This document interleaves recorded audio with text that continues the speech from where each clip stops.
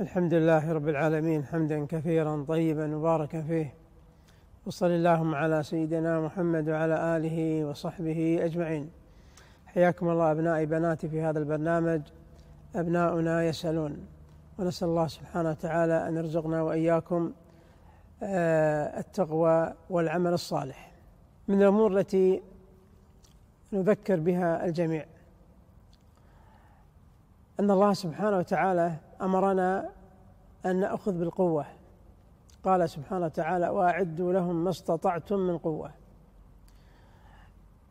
الإعداد الإعداد والاستعداد هو قوة. فإذا كان الإنسان يستعد وهذا الاستعداد طبعا يشمل كل شيء كل شيء سواء كان ثقافي سواء كان اجتماعي. سواء كان جسدي سواء كان آه عبادي آه كل شيء يطلق عليه قوة يجب أن نحرص عليه.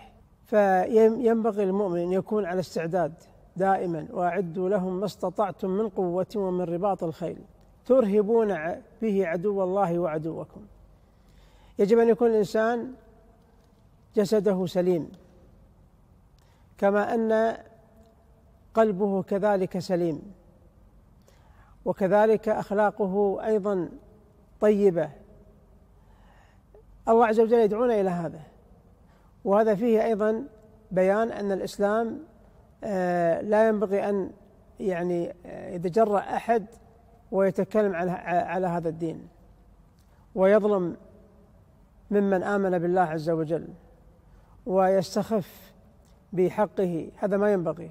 فعلينا أن نتذكر أن نكون أقوياء في الدراسة نطع يعني الأوائل كذلك أن نكون أقوياء كذلك في طاعتنا لوالدينا أقوياء كذلك في العبادة من صلاة من صيام.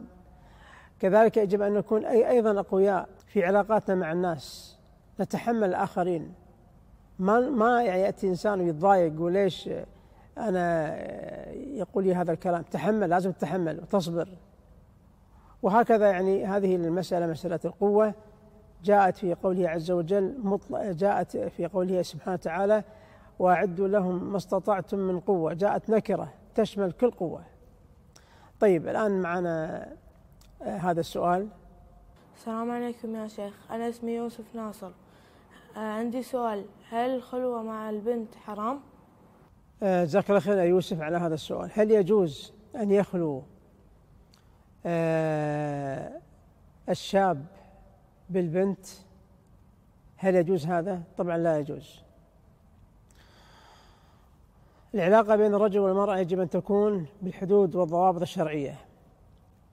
بما أن هذه البنت ما تحلك فما ينبغي أن تخلو بها. وإذا خلوت بالبنت فاعلم أن الشيطان ثالثكما. لا يخلون رجل بامرأة إلا كان ثالثهما الشيطان. ولا يجوز الإنسان يخلو بالمرأة لأن هذا فقط للمحارم. فأخوها عمها جدها الناس المحارم. أما أنت غريب كيف تخلو بالمرأة؟ ولذلك تحصل المشاكل العظيمة والعياذ بالله بسبب هذه الخلوة. بل بعض الأحيان ليس فقط الخلوة يكون يكلم هذه البنت بالتلفون. واحد يقول طيب ما في خلوة. هو ما في خلوة صحيح لكن كلامه في التلفون آه لا شك أنه سيكون فيه تأثير. يعني يسمع كلامها وتسمع كلامه وبعدين راح تصير يعني مواعدة يتواعدون ويخلون ببعضهم بعض فهذا لا شك أنه من الأسباب التي يجب أن نقطعها. لا تكلم البنت بالتلفون وحتى البنت نقول لها لا تكلمين الشاب بالتلفون. هذا يؤدي والعياذ بالله إلى إلى أمور عظيمة جدا. يجب أن ننتبه أن من طبيعة المرأة من طبيعة الرجل كل واحد يميل, يميل إلى الثاني. لكن هذا الميل يجب أن يكون في حدود الشرع بس. أما بغير حدود الشرع ما يجوز. يعني حتى لو كانت البنت يكلمها ولد عمها أو ولد خالها حتى هذا ما يجوز لأن لأن تعتبر أيضا خلوة. ولذلك إذا أراد الإنسان آه، أن يبتعد عن عن هذا الأمر أن يغلق الباب من أوله. آه، من طبيعة الإنسان خاصة البنت والولد آه، إذا كان في ضرورة في ضرورة ماشي الضرورة تقدر بقدرها. كلمة بس كلمتين.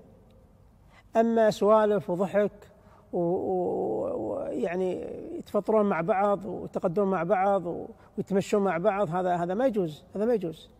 أعطيكم مسألة هي في القرآن.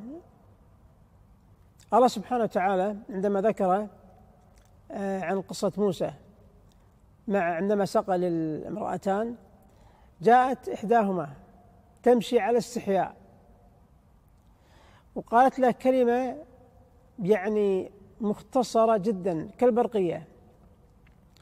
قالت إن أبي يدعوك ليجزيك أجر ما سقيت لنا. بس هذه الكلمة ما تأخذ حتى خمس ثواني.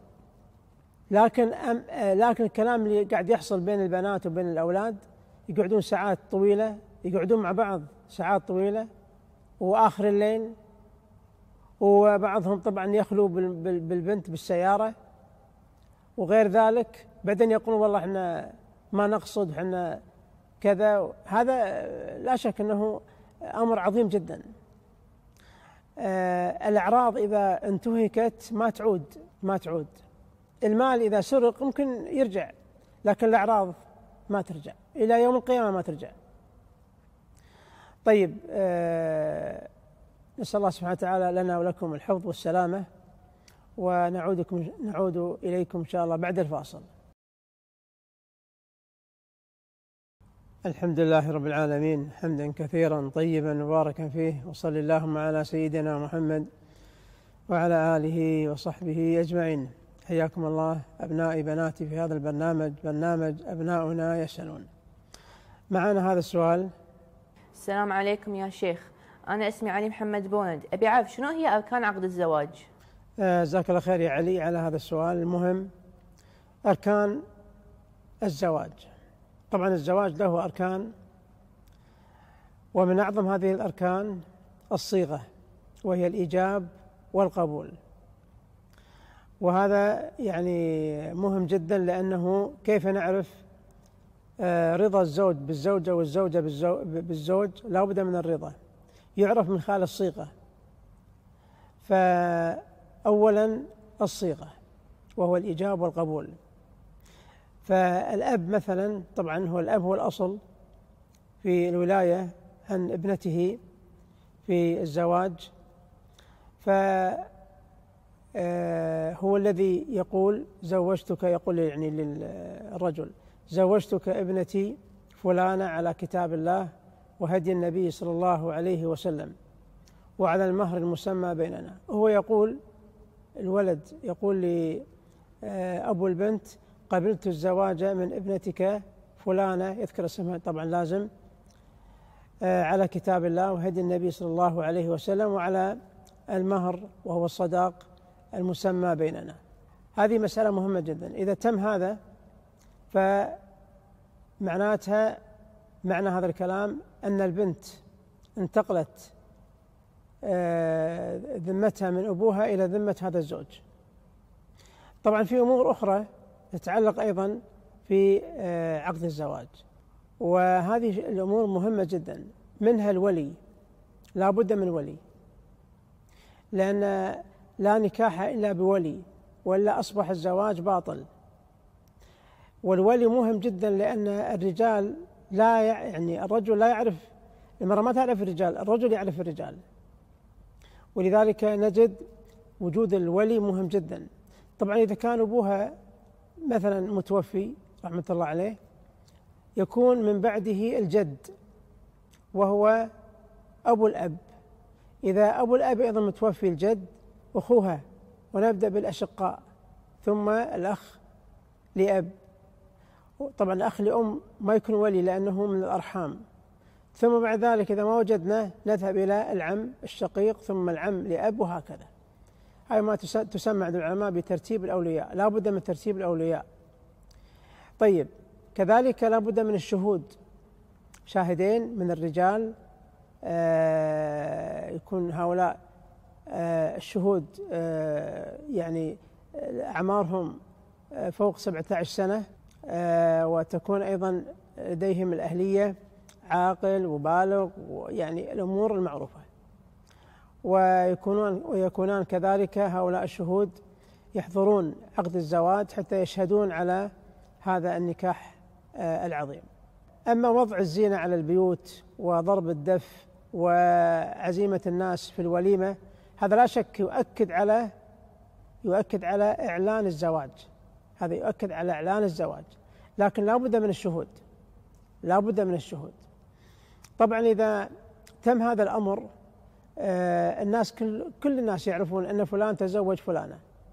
وحتى يوثق لا بد أن يكون هناك أيضا مأذون شرعي حتى لا تكون هناك الحقوق تضيع بعد ذلك. وأيضا فيه الالتزام ب آه، ولي الأمر لأن ولي الأمر أمر بذلك أن توثق هذه العقود.